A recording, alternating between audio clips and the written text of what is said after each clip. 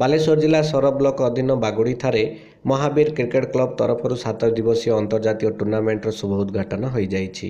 ଏହି ଦିବସରେ ମୁଖ୍ୟ ଅତିଥି ଭାବରେ ବିଧାୟକ ପରଶୁରାମ ଧଡ଼ା ସମ୍ମାନିତ ଅତିଥି ଭାବରେ ସରପଞ୍ଚ ଶାନ୍ତିଲତା ବେହେରା ଯୋଗ ଦେଇ ଖେଳ ପତାକା ଉଦ୍ଘାଟନ କରିଥିଲେ।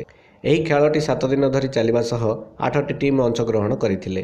ଦୀର୍ଘ ଏକୋଇଶ ବର୍ଷ ଧରି ସଭାପତି ଅଖିଳରାମ ଜେନା ଏବଂ ସମ୍ପାଦକ ବୀରେନ୍ଦ୍ର କୁମାର ଜେନାଙ୍କ ତତ୍ତ୍ୱାବଧାନରେ ତଥା ଅନ୍ୟ ସଦସ୍ୟମାନଙ୍କ ସହଯୋଗରେ ରାଜ୍ୟ ତଥା ରାଜ୍ୟ ବାହାରୁ ଖେଳାଳିମାନେ ଖେଳ ପ୍ରଦର୍ଶନ କରିଥିଲେ। ଆସନ୍ତା ପଚିଶ ତାରିଖରେ ଫାଇନାଲ ମ୍ୟାଚ୍ ପ୍ରଦର୍ଶନ କରାଯିବ ବୋଲି ଘୋଷଣା କରାଯାଇଛି। ବାଲେଶ୍ୱର ଜିଲ୍ଲା ନୀଳଗିରିରୁ ଗୟାଧର ସାହୁଙ୍କ ରିପୋର୍ଟ। ಉತ್ಕಳ ಖಬರ